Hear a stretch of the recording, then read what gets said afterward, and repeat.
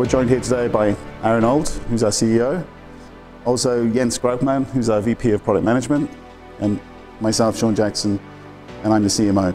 Yes, we have the world's fastest in-memory database, but effectively we help build data-driven businesses, build solutions, build products, and also build services that are very data-centric, that harness data and turn data into value.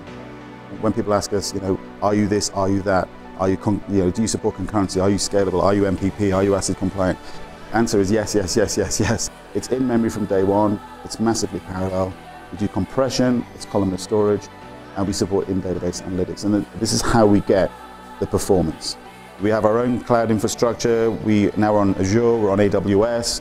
We have 101 customers today, spread across 14 countries. 14 countries across five continents. We had flyers saying this is what it costs, because again, how many database vendors truly give you transparency on pricing? We'll say, okay, if that's the application you want to run, this is the license model which will do it for you. And I think this will be very, very aggressive and very, very attractive pricing. We've got one product, but we're very, very good at that. We're world class in what we do. We're going to continue to focus on that. Do one thing and just do it really, really well.